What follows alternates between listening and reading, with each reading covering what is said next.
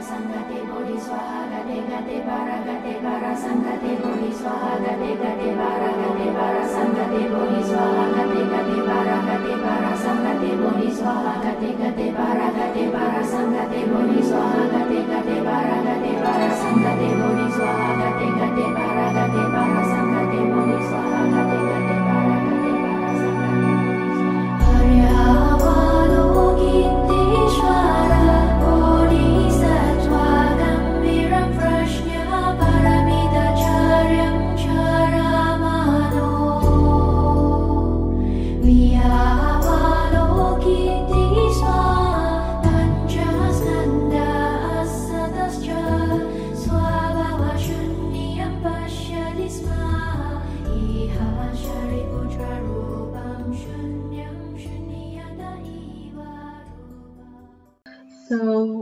going to um, uh, to read the um, uh, sutra uh, and uh, to say some things to reflect upon it.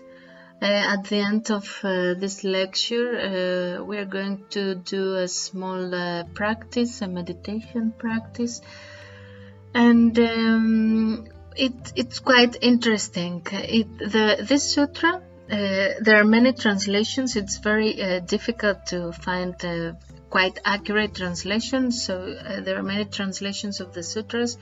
Uh, but we will um, read the, what we have found here. Uh, it's called the first uh, teaching of the Buddha, and it says, uh, I will say uh, quote uh, the some part of the sutra and then again quote to uh, say when it uh, ends uh, in order to be able to know when when uh, we just um, uh, discuss uh, things and when the the quote is on. So quote. Now this, O bhikkhus, is a noble truth concerning suffering. Birth is attended with pain. Decay is painful, disease is painful, and death is painful. Union with the unpleasant is painful. Painful is the separation from the pleasant, and any craving that is unsatisfied. That too is painful. In brief, bodily conditions which spring from attachment are painful. This, then, O is a noble truth concerning suffering. Quote. So, uh, suffering. We can see the interesting uh, point in the word suffer. Suffer, it comes, uh, derives uh, from uh, the word, uh, two words, sub and fere. Uh, means below, fere means to bear. So suffering, to suffer, to uh, bear from below. Uh, the most interesting uh, part of this is that um, in Sanskrit, to bear uh, means barati. So quite interesting this too. Uh, what uh, suffering means? To bear from below. Below it's all that we consider as uh, hell, as hell's condition, as the ego. Ego is from below. Ego cannot be from the above. Uh, because as we go up uh, and up and up in higher uh, states, um, there are um, higher states of uh, consciousness. The, the ego cannot uh, go up upwards, and it arrives from the, from down. It's what we call the hell. So um, it is to bear from below.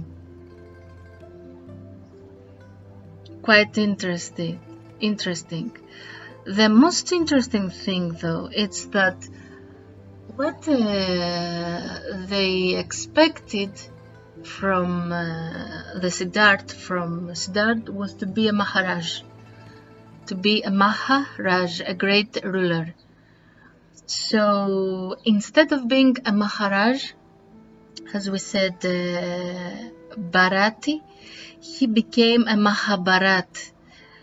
What Mahabharat means? Mahabharat, of course, it's uh, the Indian uh, sacred text uh, that speaks of war. We will say some things about it later, but it's also like the Iliad of the Homer, all these wars that are inside of us, all this war between uh, our essence and ego and our conscious efforts that are inside of us. So, Mahabharat, if we consider the translation of Bharati as being um, uh, to bear, to bear, and um, of course, uh, uh, Maha. Uh, Bharat means uh, the devoted uh, to the light. Maha ex- expect from us a Sanskrit name for great. Maha on, uh, also has a meaning uh, in um, in sacrifice. So Mahabharat also means uh, in a matter in a, a way we can say that it means the one who sacrifices Maha, the one who sacrifices Bharat, what is from below. So the one who sacrifices his ego. So we can say in a, in a way so that uh, uh, what Buddha did, the enlightened Siddhartha Gautama, because there are many Buddhas. Um, Master Weor is also a Buddha. Uh, so what did uh, Siddhartha do? Uh, he sacrificed his pain.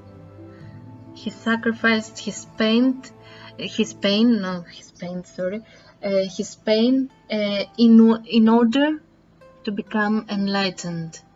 What he bear, because the ego, the ego we bear it. It's a burden. Ego is a burden. It's a chain, as we will see uh, later on. Uh, it's a burden, so we have to leave it to be free and to seek to be able to reach uh, the light. So, also, it's quite interesting that um, one of the extracts uh, from uh, Mahabharat, uh, it's the Bhagavad Gita, and one of Buddha's names is Bhagavati.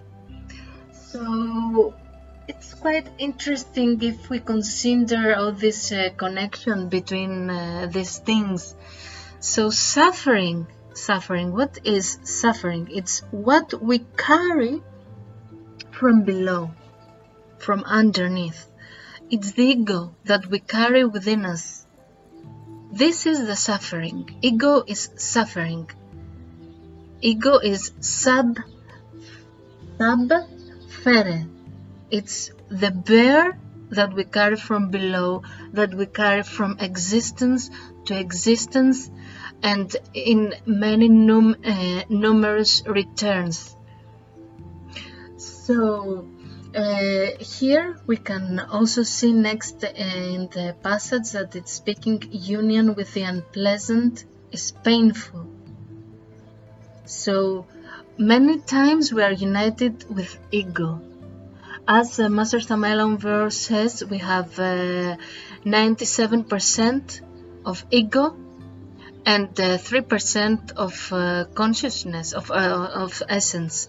So uh, we are mostly of ego, and what we have inside of us, we also are united with ego we we make uh, we are united with uh, um, with the unpleasant with what is painful because uh, ego uh, provokes uh, suffering and ego uh, is painful gives us the pain all the pain comes from the ego and craving that is unsatisfied in brief bodily conditions so here we have something else.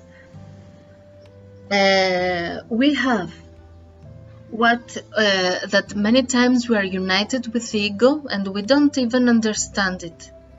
This is to be uh, somehow um, subconsciousness, we can say, unconsciousness. Uh, when we are united with ego. But what do we seek? We seek the immortal self. We seek to be united with our mortal self, our essence, our innermost. What is good in us is seeking to be united with our um, not um, sorry with our immortal self, not mortal, immortal. Ego is mortal. Ego can die, but our essence, uh, our um, our innermost is immortal. Mortality belongs to ego. This is what uh, Siddhartha, what the Buddha uh, uh, realized. Mortality is of ego, and immortality is of essence of innermost. And what pain, pain, nothing is good or bad because pain can be ben- can benefit us. In which manner? For example, we have a body. We have a physical body, the body that we all can see now in this physical world. So this body, uh, inside of it contains blood, contains uh, vessels, con contains organs that are enclosed, are enclosed um, uh, into um, into the body. So this, if if we cut and our blood uh, uh, runs from uh, our hand. Maybe we cut in our hand and our blood comes out. Um, there is pain. And what is there? Pain is there to show us that something is not going wrong it is not going right. This is why pain pain show, shows us is there to show us something is not going right.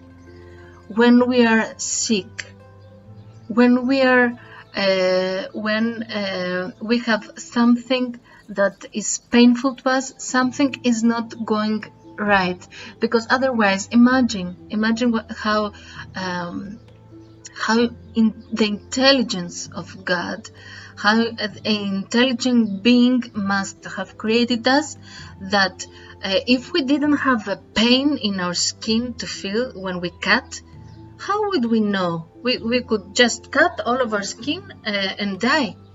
But there is pain to prevent us from doing uh, harm in ourselves or from uh, or to show us that something is not going right.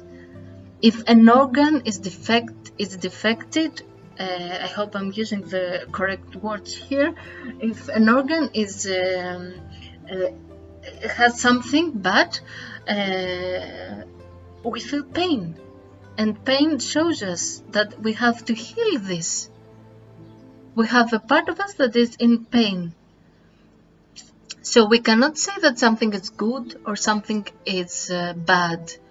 When you're you're sleeping when we when you fall asleep if you see a very good dream with very nice rainbows and clouds and uh, i don't know pink clouds and unicorns flying around uh, a very happy dream uh, what anyone is considering you don't want to wake up.